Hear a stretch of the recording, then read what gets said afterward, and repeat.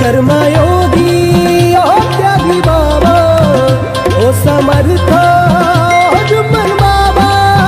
तूने सेवक को झुकना सिखाया नहीं, परमात्मा है एक जो सीख सही, हर इंसान में बसा है वो कहीं ना कहीं, शर्त ये है